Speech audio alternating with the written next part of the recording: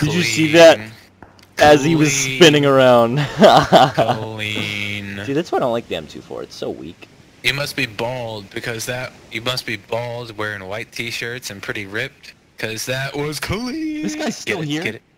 Yeah, you see him? Oh, Yeah. dude. That's liquid Kevlar, dude. Don't mess with that. Now mess with it. You suck. You ain't gonna hit him on that. You know you ain't gonna hit him on that.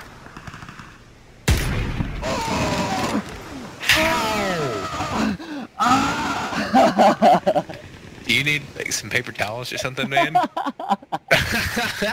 I'm sorry, but that was so good to rub that in.